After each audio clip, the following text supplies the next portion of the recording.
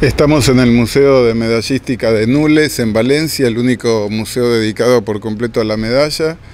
Eh, donación de un medallista famoso de acá del pueblo, que es Enrique Giner, pero además tenemos esculturas de todo tipo, de colegas, de eh, también muchos artistas locales y de la región.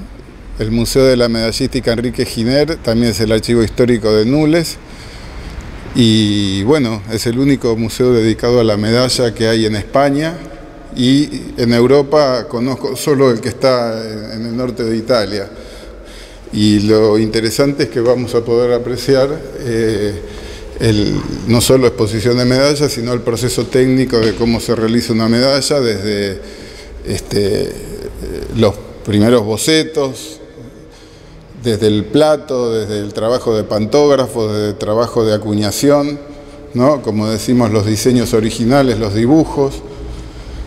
Y también hay una colección de artistas españoles. Esta es la colección propia de Giner, el donante del museo, medallista, y después tenemos artistas eh, españoles, desde Miró, Dalí, hay una colección importante de medallas de Dalí, de manera tal que los invito a que visiten el único museo dedicado a la medalla que hay en España.